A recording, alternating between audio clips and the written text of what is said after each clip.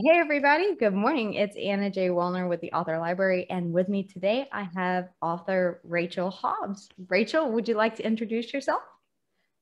Hello, I'm Rachel Hobbs, and I'm the author of Shadowstained, uh, the first in the Stones of Power series.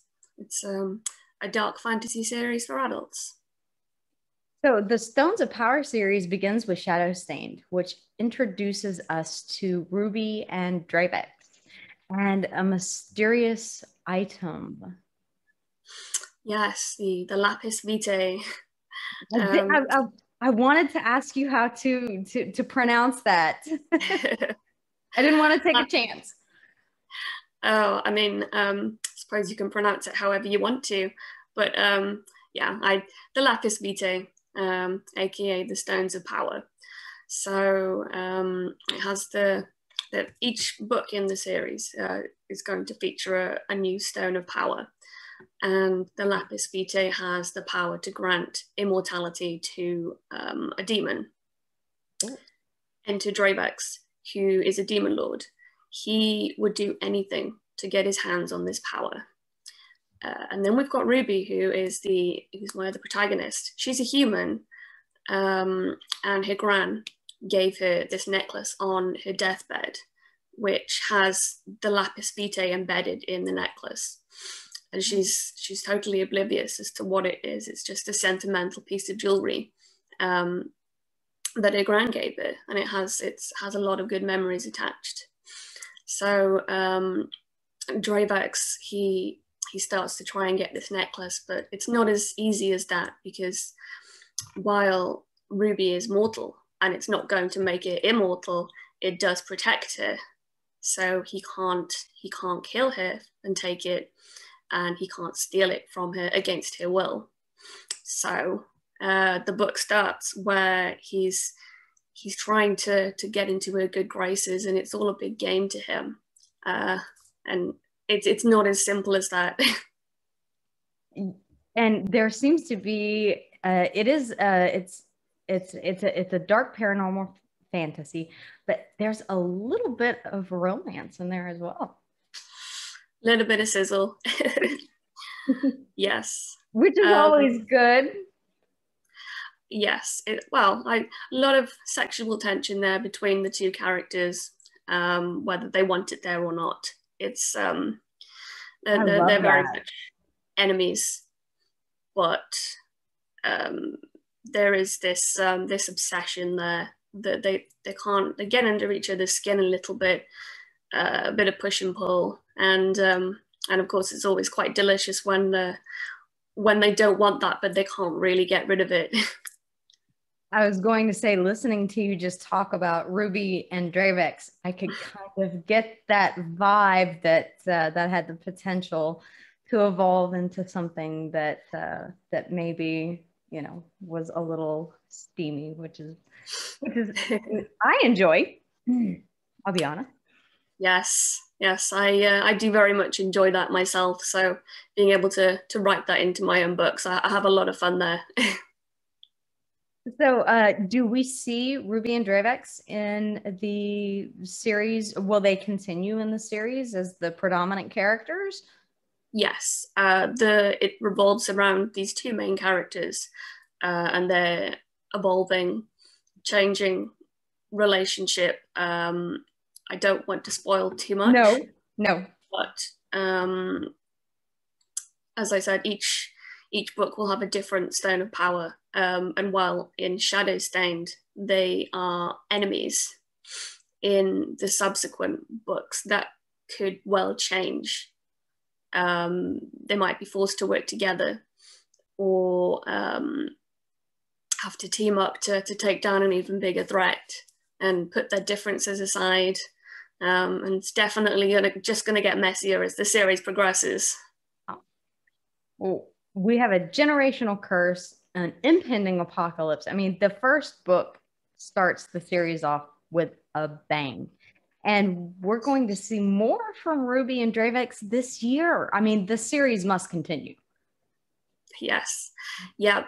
Uh, definitely. Uh, book two is um, uh, due for release later this year. I'm aiming for around September time. And uh, we do have a title. The title is Soul Strong. Soul Strong.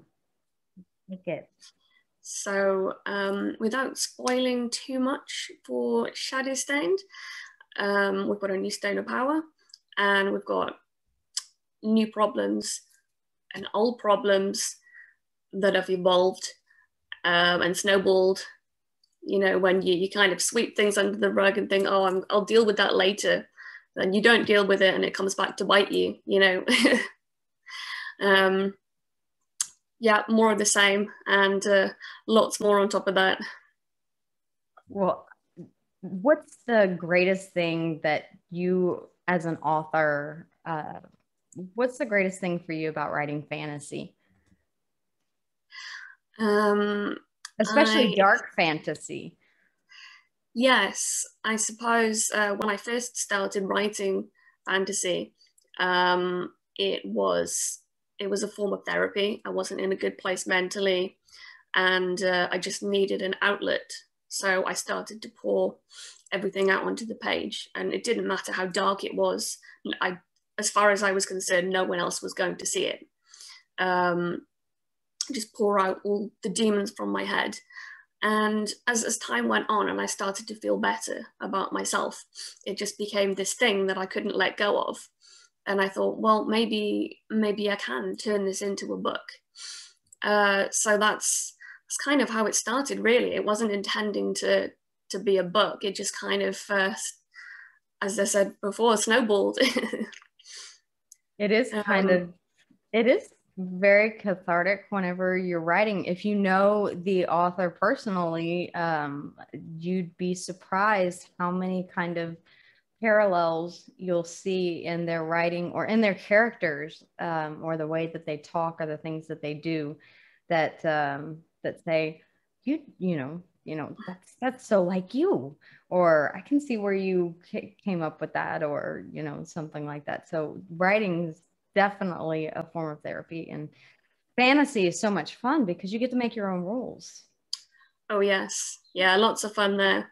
Um, I've got um, it's partly based on Earth, but it's also partly based on um, a demon planet, which is the planet that Drayvex rules over, and that in particular was especially fun to write because I could just go to town on that. It was a blank slate. Um, and it was uh, i think you can tell how much fun i had writing it from the way i wrote it you know it really does come through whenever you're enjoying what you're writing and putting down on the page it translates to the reader immensely because they have fun reading it um, because of the, the the the heart that you pour into it whenever you're you're writing it so yeah no i've i've, I've just I've, I've just started it by the way, a couple of days ago, and I'm already I'm not no spoilers.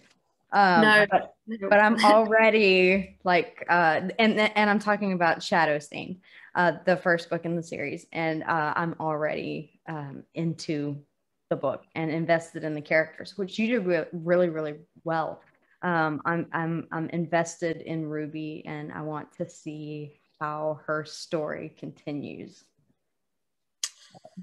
No, definitely no spoilers. Well but um, yeah, I uh, I've been told it's a, a bumpy ride. but a fun ride, a fun bumpy ride. Yes, sometimes. yes. uh, I have a I, I have a tough question though. So, out of Ruby and Drayvex, which one was the most fun to write? Who's your favorite? Can you pick one? well, I'm. It's so hard. um, I do have an extra soft spot for Drayvex. He is very fun to write. And I feel like, especially after I've, I've been at work all day and it's been especially long, and then I can come home, open up my laptop, and Drayvex, he's he's such a well, he's such a bad character that his boundaries, there's pretty much there's not a lot that you can't do with him. you can it's like a big playground, you know. Um, Ruby is also she's fun in other ways because she challenges him in a way that no one else would dare and I think that's very it's very fun to watch him squirm. Uh, they they both have different ways that they're very fun, but Drayvex in particular, he's he's very fun to write. You can just go to town with it. I'm loving hearing you talk about them like this. Um, uh, just the way that he makes him squirm. I'm, I'm like, yeah. There's sometimes whenever that's that's fun to to read. Whenever someone's intentionally pushing someone else's buttons to get a reaction, and then you're like, you know, Ooh, what's that reaction going to be? He's a bit of a Marmite character, so I think um, he should be squirming sometimes, you know. it's so, you're almost kind of torn. It's a, it sounds like between who you root for at times. Like your side changes, and I love that in a book because just whenever you think this character is irredeemable, then something comes along and and you're like, oh well, maybe, you know. yes, so I, I like I love delving into the the whole idea of the grey morality. Um, not you know the the fact that there is no black or white, but everyone has grey spots in between. Um, That's real life. Yes, yeah, and it's really fun to explore that in between area where you're really conflicted about is this character a good character? Are they a bad character?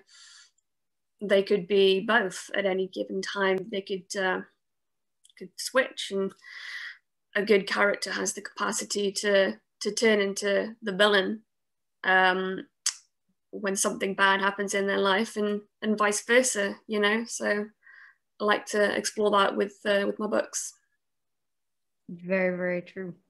Um uh yes uh, and and it's and it's also fun those little twists for the reader never quite knowing who they need to side with so they have to keep reading on. Very well done. I'm i'm i'm, I'm into the book as i said.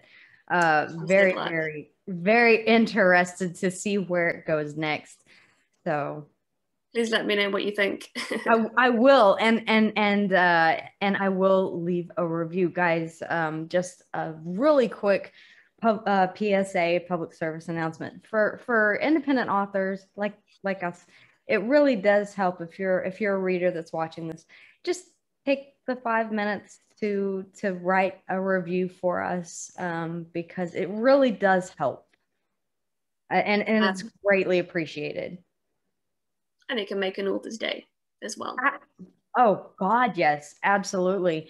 So um, a, a, lot of people a lot of people don't and um, so you know that's something that's going around right now is trying to encourage people to leave reviews because for people like um, you know um, SJ Maas or or you know JL Almond you know they don't really need the review. You know they probably don't even look at them. But for us, you know, we actually the, the humans behind the books that that you read and enjoy, we really do read the reviews, and it can make our day, and it can also uh, really help. Um, help us. So, uh, so I'm a big proponent for for writing reviews. Absolutely, yes. But if you haven't already gotten your copy of Shadow Stain, make sure to do that. Oh, you have the hard copy. I oh, do, yes. Um, it's a little nice sound.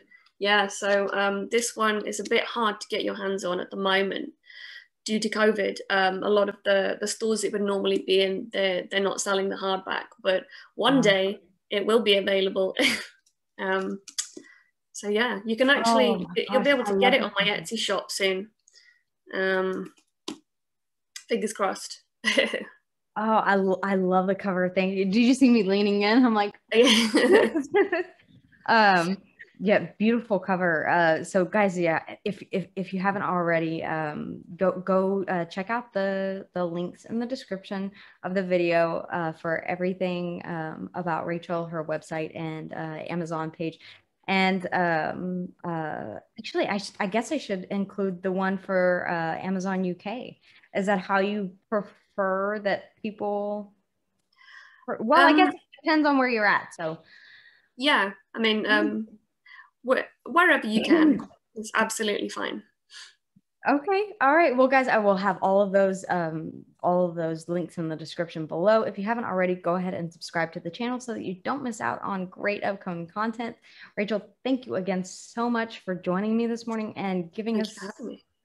giving us some more insight into Ruby and Drayvex. And guys, seriously, pick up this book. so um, thank you again. And guys, stay safe, stay healthy, and we'll see you soon. Bye.